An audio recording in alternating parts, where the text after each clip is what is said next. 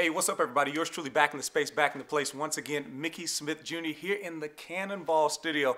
Uh, here today just to talk with you about what I like to call the fundamentals. The fundamentals. You know, as a, as a beginning band uh, teacher, as a, as a music educator, there are so many things that, uh, that we just happen to do and tend to do that we don't realize not only is significant, but it's difficult for the beginner.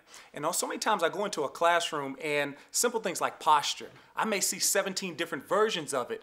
How do you successfully teach and reach those students to where they themselves can operate with a level of autonomy? I think it's uh, creating lasting ways in those first days of school. So today, I want to talk to you about something that's so significant. But watch this. I wear a lot of different hats as a musician, performer, uh, but, but there's one hat I, I, I need to sport today. I, I got I got a rep. I got a rep. I got to rep it today, guys.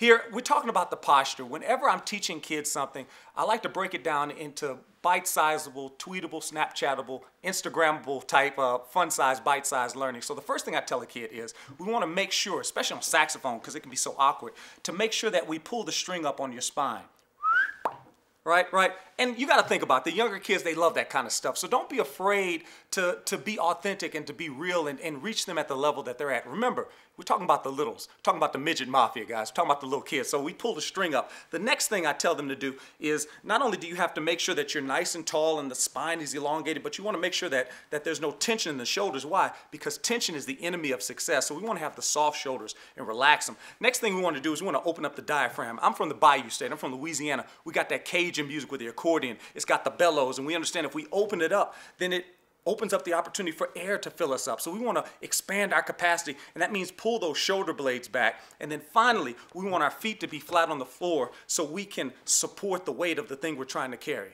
Now let's be honest.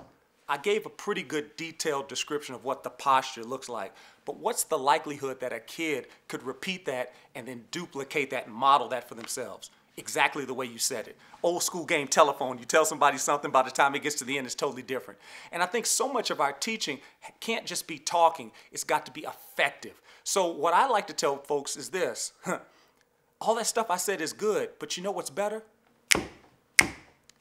First, you gotta sit tall, let your shoulders fall. Make a meet in the back and put your feet down flat. You gotta sit tall, let your shoulders fall. Make a meet in the back and put your feet down flat. You gotta sit tall, let your shoulders fall. Make a meet in the back and put your feet down flat. What did I just do there? I took that, that big idea and I broke it down to the fun size. Think about the candy. The king size is not the fun size. What's the fun size? The bite size stuff. So make those bite size learning moments powerful. And then that way, watch this. Now the kids can take charge of what you've given them because as a kid, now I'm thinking, sit tall, shoulders fall, meet the back, feet flat. Now all of a sudden, I have this right. And if we have this right, then this is going to be right every time. Whether you got it here or if you got the little alto sax that's here. Either way, you want to make sure this is right because this is where the music starts. Give your kids the opportunity to make their next steps their best steps, and their next sounds will be their best sounds yet. Once again, my name is Mickey Smith Jr.